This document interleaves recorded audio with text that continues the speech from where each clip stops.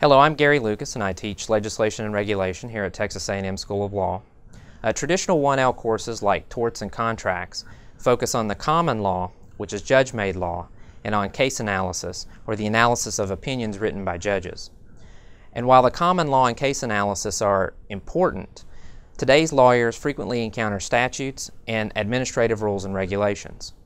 So we added the legislation and regulation course to the 1L curriculum to ensure that our students would be exposed to statutes and to administrative law early on in their law school careers.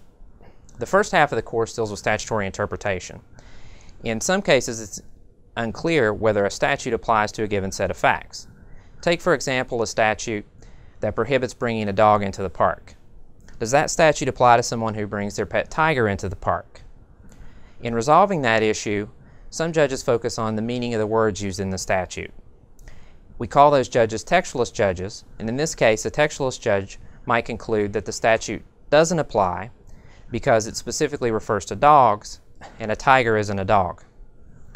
Other judges focus on the purpose of the statute. We call those judges purposivist judges. In this case, a purposivist judge might conclude that the statute, despite its literal meaning, does in fact apply because its purpose was to protect park patrons from dangerous animals and a tiger is a dangerous animal.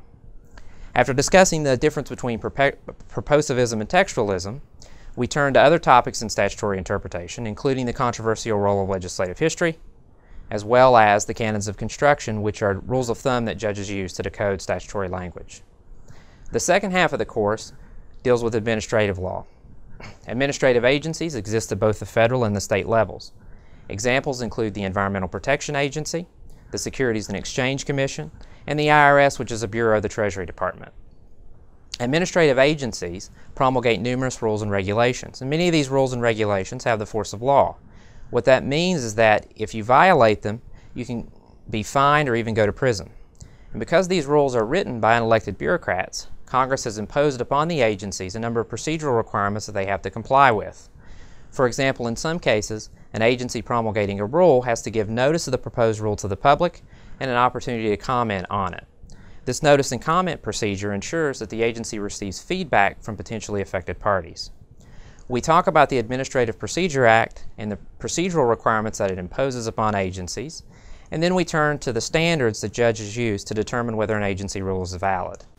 I am Professor Gary Lucas, and this is the Texas A&M University School of Law.